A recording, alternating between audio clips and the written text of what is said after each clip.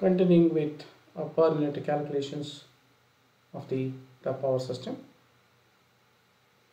In the last session, we have seen that the how the the per unit calculations are carried out step by step. The first step is you have to choose the base kilovolts and base MVA in any one part of the circuit or we can choose base kilovolts or base kVA in any one part of the circuit. That depending upon you have to see the, the capacity of the power system component based on that either you can choose MVA or kVA. Means you have to choose MVA and kVA. Usual practice is choose MVA and kVA in any one part of the circuit. The base MVA is uh, remains the same in all parts of the, the power system irrespective of the transformer in between. However, the base voltage is changing from one part of the power system to other part of the system because of in between the transformer. Therefore, you have to transfer the base kilovolts from one side of the power system side to the, the other part of the power system by multiplying the transformation ratio of the transformer in between the two different sections of the, the power system. Then whatever the quantity you are using that is a base kilovolts and base MVA they are with respect to the a three phase system. The same thing is written in the, the point number 2. Then the next step is the base MVA will be the same in all part of the system. What I told you is the base volt ampere whichever is choosing in any one part of the circuit that remains the same.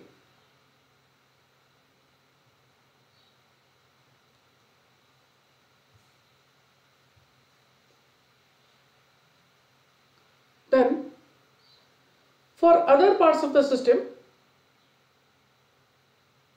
the other sides of the transformer the base kilovolts for each part is determined using line to line voltage ratio of the, the transformer. That also were discussed.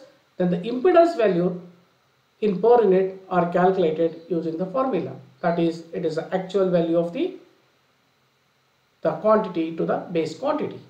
Then how to find out the base impedance?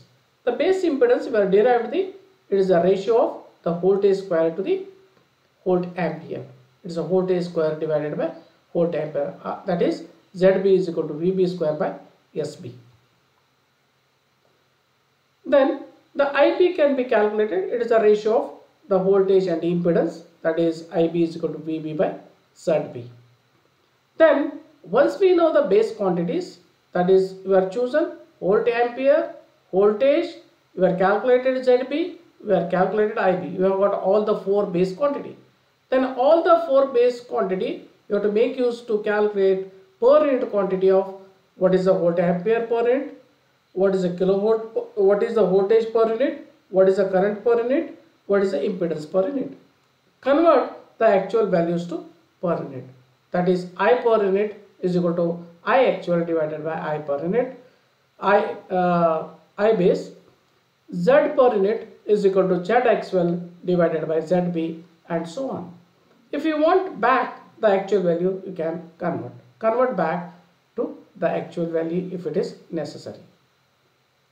Then in the there are I am taking considering here uh, two sets of uh, different base quantity. Here in the first case I am choosing voltage in terms of kilovolt ampere as a base quantity and kVAB that is volt ampere I am taking in kilovolt ampere. Okay, the what are the calculations for this particular chosen base values? Just we look into here. Then I am interested in base current. The base current I have to get it from these two quantities that is KVB and KVAB. That is we know the the relation for the the per phase base current because the calculations are made per phase per phase basis. Here I am using IBP that is the per phase base current is per phase volt ampere base to the per phase the volt voltage base. That is, it is also per phase, it is also, it is a phase value. Then what is the total three phase value? It is kVAB for it is for all the three phases. For one phase it is divided by 3. The same thing I am using here. It is a kVAB into 10 raised to 3 because it is a kilo. Therefore I am converting into volt ampere by multiplying 10 raised to 3. It is a per phase. It is per phase divided by 3. And VBP it is a per phase voltage. The, it is a kVB is line value. The phase value is it is kVB by root 3. Of course, it is k is converted into volt by multiplying 10 raised to 3. Suppose if you are simplifying this equation, the final equation for the base current what I am getting is kVAB divided by root 3 into kVB is the base current. That is two base quantity you are chosen here, the, the third one you are calculated here. And fourth base quantity you have to calculate it as Z, ZB. That is, we know that the impedance is it is a ratio of voltage and a current voltage and a current the voltage means it is a per phase voltage and it is a per phase current that is per phase voltage that is the base quantity what you are using the voltage kVB per phase voltage is kVB by root 3 of course into 10 raised to 3 because it is kilovolt that is converted into volts. Then divided by per phase current. What is the per phase current? Already we are calculated is it is kVAB by root 3 into kVB. The same the formula I am substituting here. That is this value I am substituting here. Therefore the ultimately the ZB what I am getting here is kVB square into 10 raised to 3 divided by kVAB is the, the base impedance means you are choosing these two base quantity the voltage and volt ampere you are calculating third is the IB and fourth base quantity is ZB you are chosen to the another two can be calculated using these two quantity. Okay. When if you are choosing the base quantity as KVB and KVAB. The other combination of the base quantity you can choose as KVB and MVA. In the previous case I chosen this as a KVAB. Now I am choosing here MVAB and the procedure is uh, remains the same. Then I am interested in the base current first. The base current is it is a per phase volt ampere divided by divided by per phase voltage that is it is a volt ampere per phase and voltage per phase what is the three phase volt ampere? Mvab per phase it is divided by 3 therefore it is that is mvab into 10 raised to 6 because it is a mega volt ampere divided by 3 and the per phase voltage is kvb by root 3 kVB by root 3 of course it is converted into volts by multiplying 10 to 3 then if you are simplifying this equation what I am getting is MVAB into 10 to 3 divided by root 3 into K into VB is the, the final equation what I am getting is for the base current if you are choosing these two as a base quantity. Similarly the ZB is it is a ratio of the voltage and the current that to per phase base base values.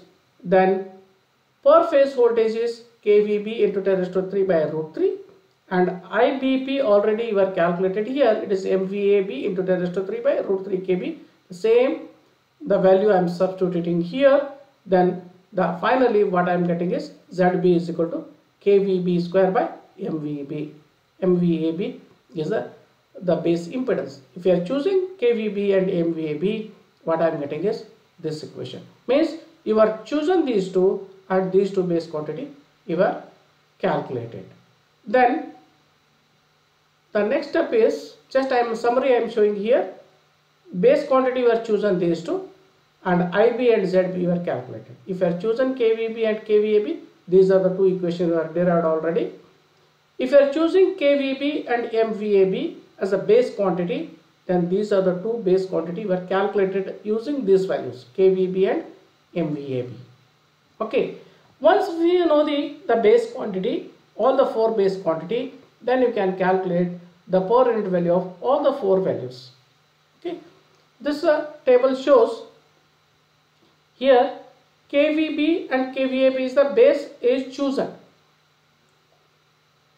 by choosing these two base quantity you are calculated these two base quantity that is why i made here base quantity chosen base quantity calculated based on chosen value.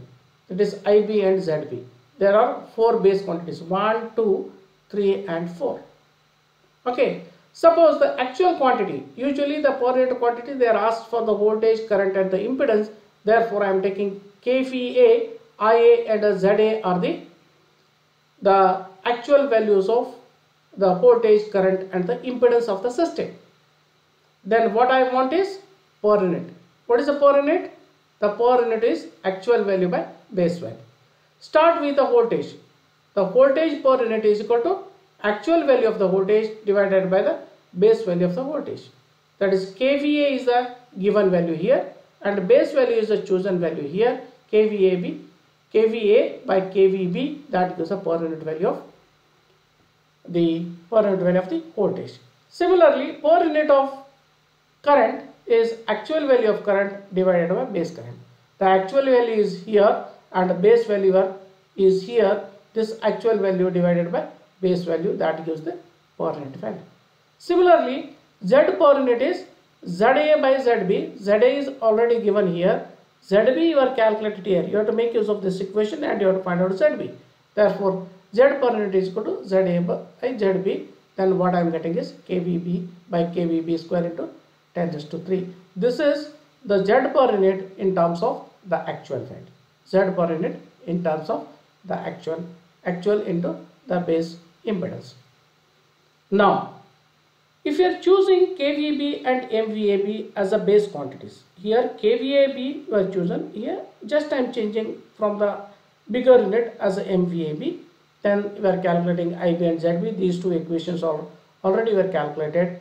Then if the given quantities are KVA and IA and ZA, then we similarly we can calculate per unit value of kVA by kVB is the per unit value of the voltage IA by IB that is the per unit value of the current and the per unit value of impedance can be calculated as ZA by ZB okay? This is how we have to do the calculations. That is choose the two base quantity. Another two base quantity can calculate. Once you know the all the base quantities then the actual quantities are given here. The actual quantity divided by base quantity that gives the per unit value